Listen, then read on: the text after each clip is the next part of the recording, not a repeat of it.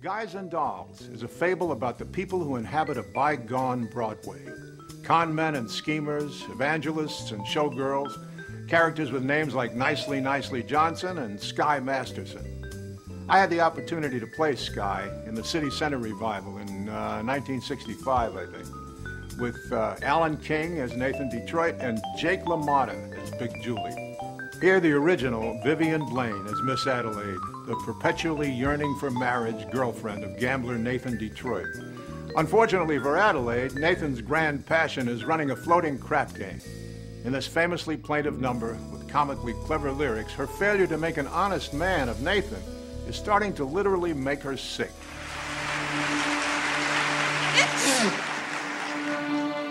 It says here, the average unmarried female, basically insecure, due to some long frustration, may react with psychosomatic symptoms.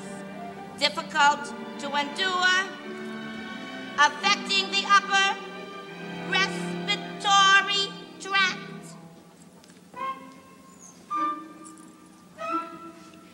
In other words, just from waiting around for that plain little band of gold, a person develop a cold.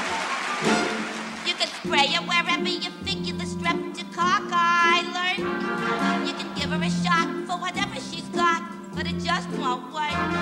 If she's tired of getting that fish eye from the hotel clerk,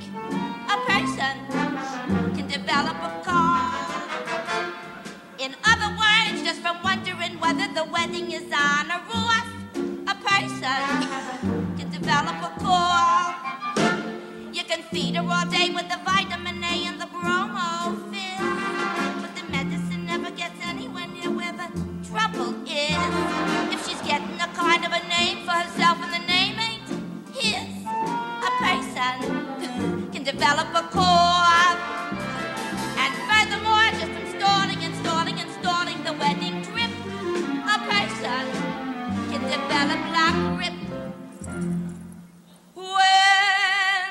Get on the train for Niagara, and she can hear church bells chime, the compartment is air conditioned, and the mood sublime.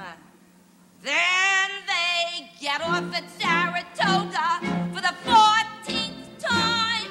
A person can develop la grippe, la grippe,